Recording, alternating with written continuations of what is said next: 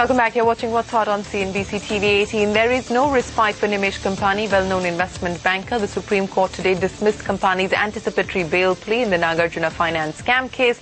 And here's a quick snapshot of the case so far. Nimesh Kampani was an independent director of Nagarjuna Finance, a post he quit in April of 1999. In December 1999, the company was to pay back public deposits of about 100 crore rupees. It sought an extension till 2002, but it defaulted at that time. Now, six years later, the Hyderabad police issued an arrest warrant and filed the case for criminal breach of trust and cheating. So on What's Hot tonight, we asked what next for Nimesh Kampani. Joining us is Raian Karanjawala, Nimesh Kampani's counsel. Raian, many thanks for joining us. The anticipatory plea has been dismissed by the Supreme Court. What are his legal options? What is the legal recourse for Nimesh Kampani at this point? Well, one of the obvious legal recourses is to come back and face the trial, face the investigation. Hmm. But also it has to be remembered that this is not really a case at all for custodial interrogation. Hmm. This is really a case where, in fact, I would have expected at the earlier stages the prosecutor to say that as long as he agrees to comply with hmm. and listen to our directions and cooperate with the investigation, we don't really want his arrest. Hmm.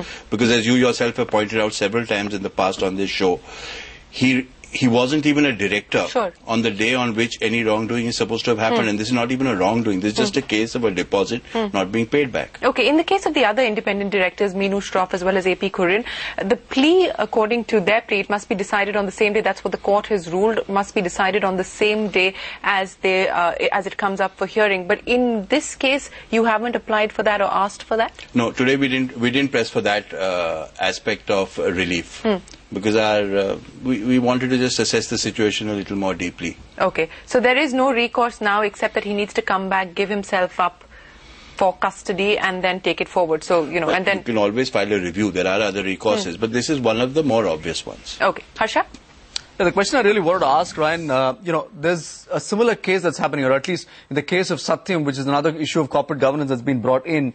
In that case, although the, the parameters may be different, the role of the independent director is still, still under scrutiny and they have not been, they have not been booked at all. So what parallels are you drawing with, with the Nagarjuna finance scam case and with Satyam?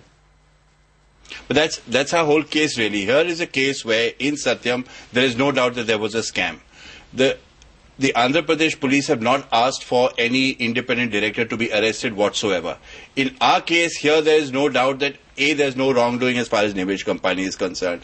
B he was not even a director of the company on the date on which the deposits were not paid. He had retired and resigned well in advance. All these are documented facts. So that was my original case also. This is not a case at all for custodial investigation. This is not a case where the Andhra Pradesh hmm. police should at all have asked that he be arrested. And what is more important, especially when simultaneously, back to back, in a case which is of a actual scandal and of a considerable magnitude, there they have done nothing against any of the independent directors. They have not sought to have them arrested.